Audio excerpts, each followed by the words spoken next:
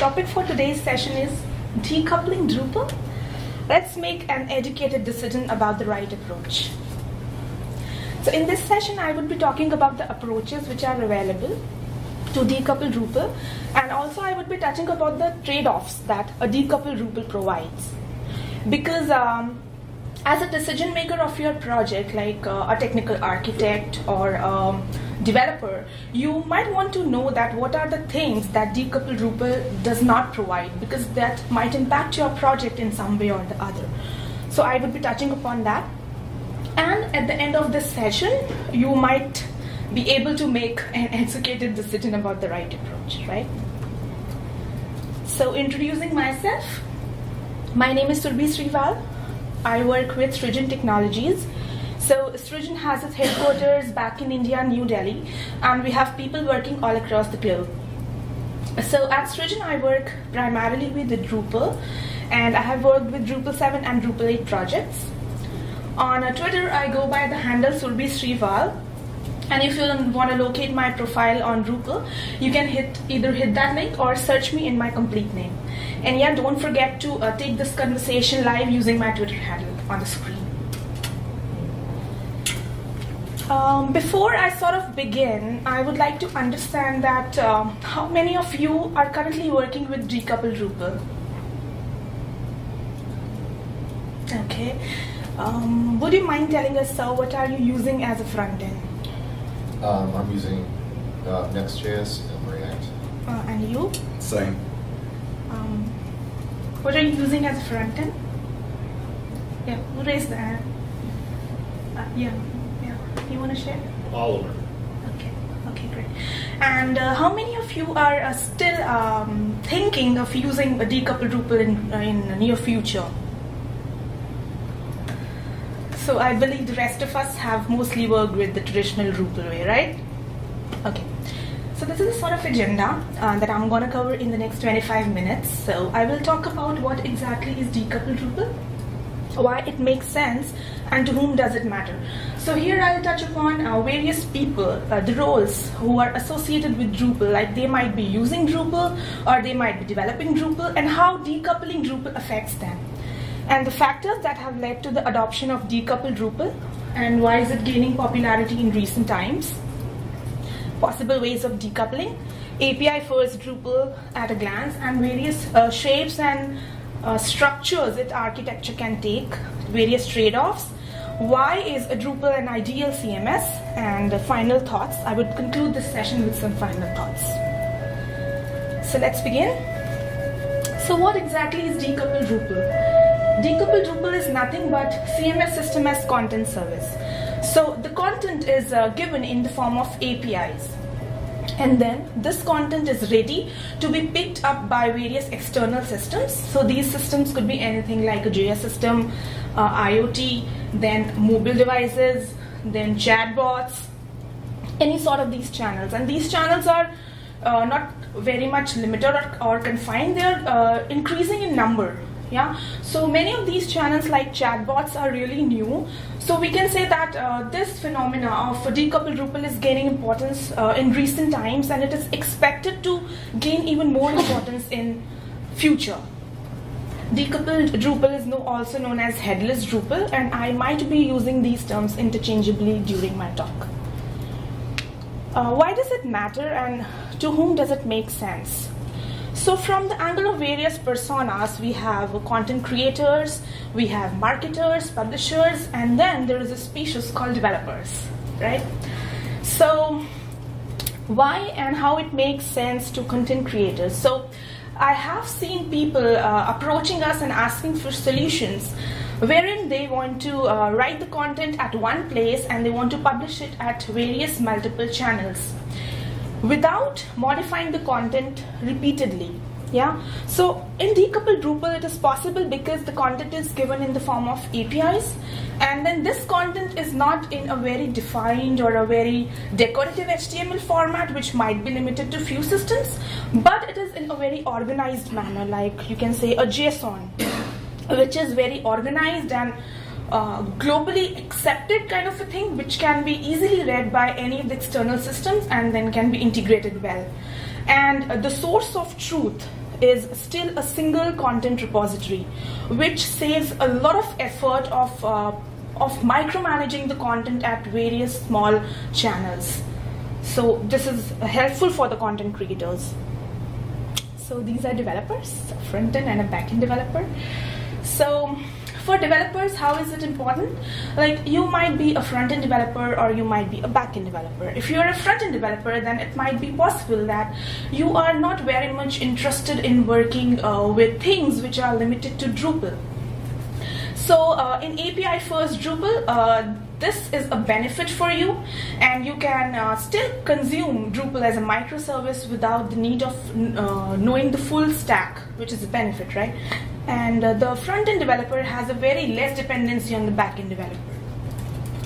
So uh, it's kind we are decoupling not just the architecture, but we are decoupling the entire teams. And as you can see, he's a JS developer and um, uh, if you want to do a lot of experiment with the DS. so then decoupled Drupal is for you. And uh, uh, as a front-end developer, you you may not want to use Drupal-specific uh, template engines like a Twig template. So decoupled Drupal is again a benefit for you in that sense. Then the factors that led to the adoption of decoupled Drupal, I'm going to read this one. Separation of concerns for structure and presentation so that the backend and frontend teams can work independently. There might be a possibility that the backend is changing at a faster pace than uh, or a slower pace as compared to the frontend. So this is again a benefit. Along with decoupling the architecture, we are also decoupling teams uh, which can remove blocking between them. And again, this is a benefit for marketers and publishers because they uh, are uh, at a benefit of just writing at a one single place and getting it published to a lot of different channels. What are the possible ways of using Drupal? So uh, the most common way is the monolithic or the traditional Drupal way. And then we have fully decoupled and progressively decoupled Drupal. So I'm gonna cover them one by one. Let's first take monolithic implementation. As you all are aware, this is the single Drupal system that takes care of the both the concerns, the backend and the front-end concerns. So if you are a Drupal developer uh, who want to just remain primarily focused towards Drupal, then this type of uh, an arrangement is specifically for you. And also this type of Drupal provides all the Drupal in out-of-the-box functionalities like uh, inline edits, the quick edits, the preview functionalities. So again, this is uh, a, uh, a setup for this type of a project. The second is fully decoupled implementation. So fully decoupled implementation, um, it does not provide the out-of-the-box functionalities, but it is for developers who are more centric around the JS part. They want to do a more more of experimentation with respect to the JS framework. They want to interpolate some of the JS frameworks with their backend. So this type of um, uh, setup is for them and it is gaining uh, importance in recent times because of the growth of Java, JavaScript which is uh, increasing day by day. And then there is progressively decoupled implementation. So this type of implementation is a balance between the first one and the second one. So what happens here is that uh, the content, the most of the static content of the site, um, which is not rapidly changing, like the footer or the header, that is mainly populated by Drupal initially, and then the rapidly changing blocks, they can be populated by JavaScript. So for example, there is a module decoupled block module, which allows JavaScript frameworks to render their components into block. So let's just quickly have a look on uh, how API first Drupal actually is. So if you see on the screen, there is a blue bubble in the center. So it is nothing but it is the decoupled CMS and then the small uh, circles, they are the different channels. For example, we have native apps, we have chat apps, we have single page applications, IoTs, other backends, and then this list grows. So if you see a title and a body, so it is mainly, I want to represent here a node page, a Drupal node page, like a node add page or edit page. And the content creator is coming and uh, writing a content over here. So what is happening is this, as soon as this content is saved, it is it is rendered to different uh, channels, right? So the single source of truth is still a single repository, that is the Drupal CMS. How decoupled CMS works? So if you see on the left, there is a blue box, CMS, and on the right there is an external consumer application. So this application makes an HTTP request to the CMS and then the CMS responds to this HTTP request with an HTTP response with the help of some sort of web service, REST API in this case, and then. So how is monolithic different from decoupled? So if you see on the left, there is no clear separation between the front end and the back end. However, if you see on the right, there is a very clear separation between the back end and the front end. So the data flows from the back end to the front end uh, in the form of, let's say, JSON in this case, and passes through some sort of template engine.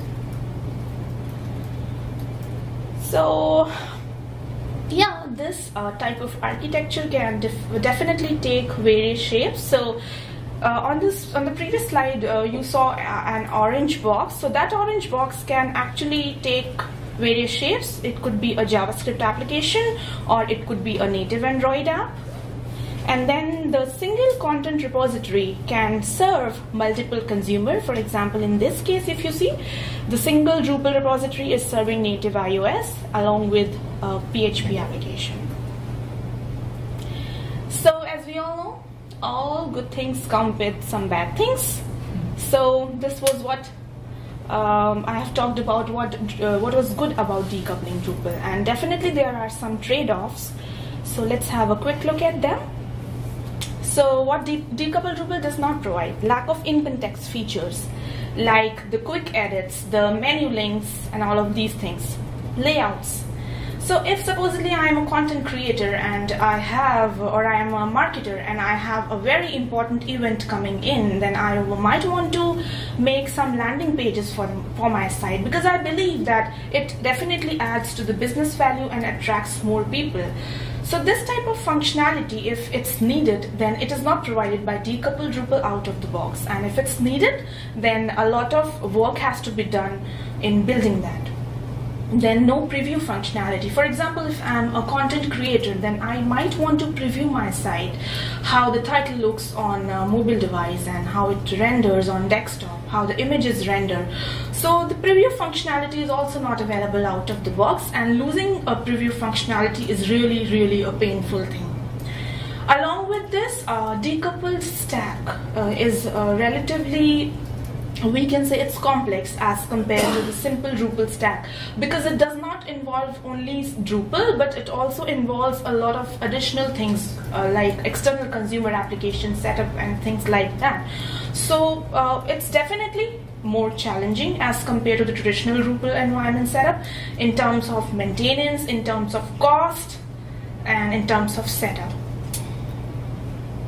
So this was something uh, why we should not use decoupled Drupal, but then again there is a question that why is Drupal considered an ideal decoupled CMS? Why? Because Drupal is really really mature.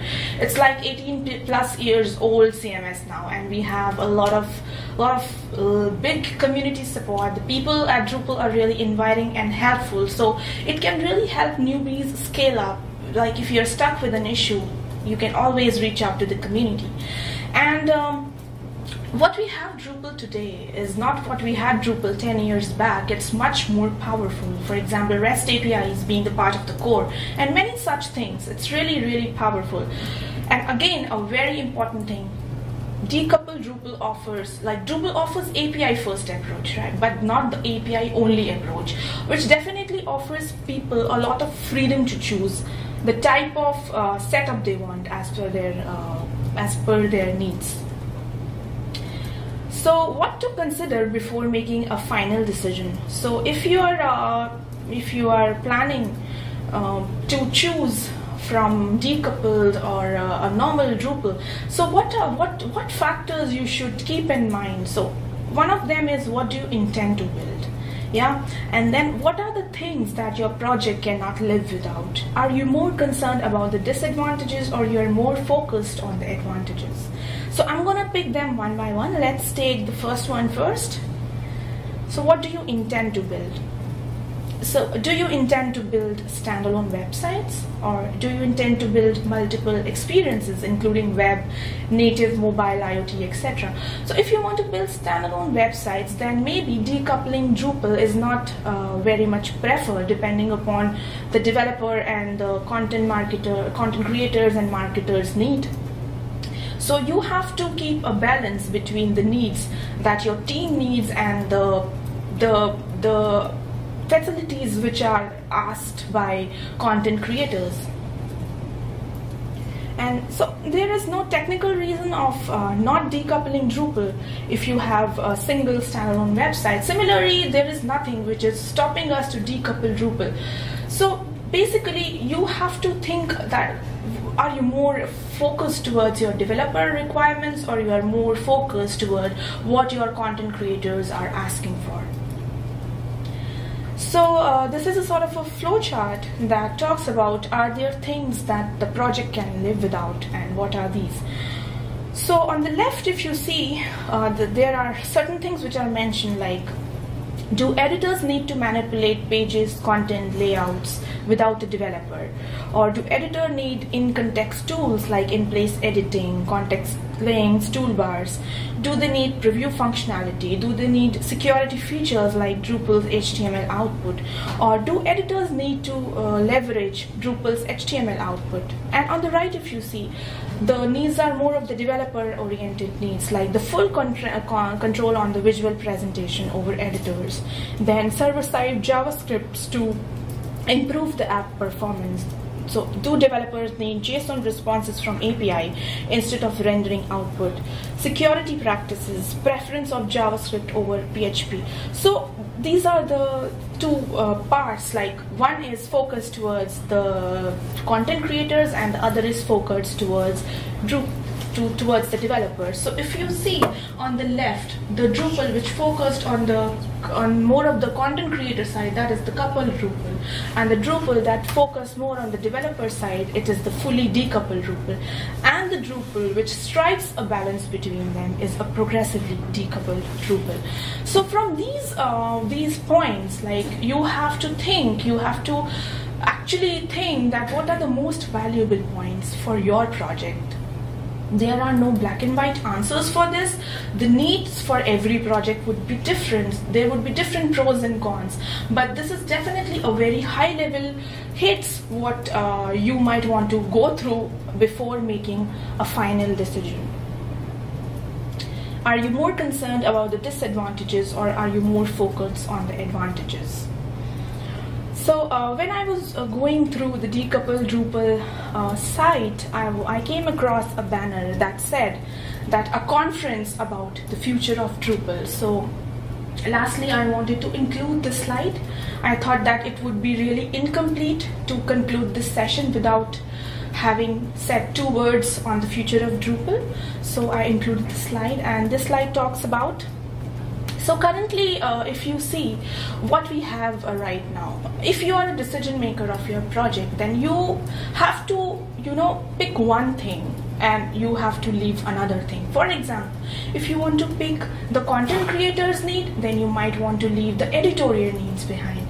So the Drupal currently we have, it has some gaps between the developer needs and the content creator needs. So I hope in future we have a Drupal which uh, which maintains which bridges these gaps and currently we have a lot of developer teams experimenting on front end and it's my hope to see a lot of improvement over there and a time may come that these gaps are really bridged and we don't have to pick one and let the other one go.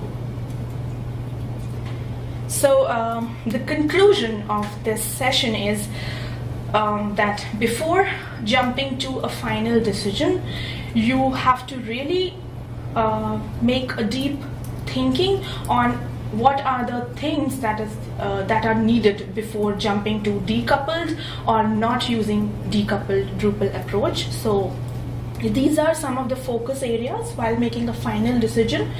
So the first one says you uh, your need would determine the useful of decoupling Drupal The second one is measure the trade offs by differentiating which features are the most valuable for your project. The third one is does your project need editorial capabilities?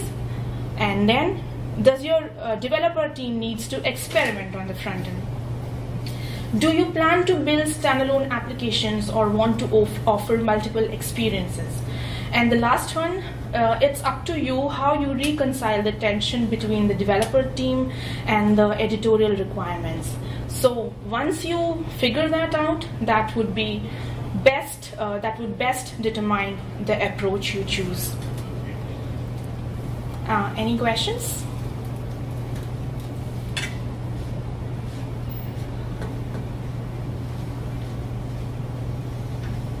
Yeah.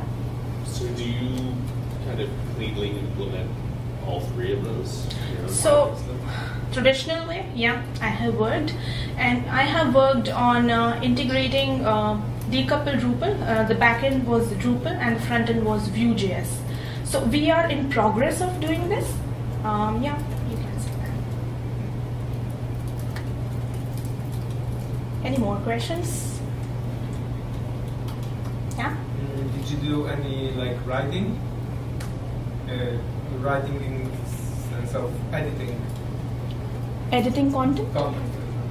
Yeah. Uh, uh, like so i am a developer basically but yeah uh, I, I at times you know uh, i might want to add some content to the site to do some sort of testing yeah Uh, I mean, uh, did you build the decoupled ed- editor uh, tools for editing Drupal entities? no no no not Ah. not not anything specific but uh, anything specific you want to know about it Uh, no, just asking. Uh, Uh, for no, example, so not not experience.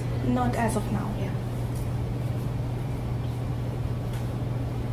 any more questions yeah Uh, What was your, I guess, if you could say the top three challenges you've had in most project projects when you're decoupling, when you're doing either progressive or fully decoupled, whatever your been your top three challenges?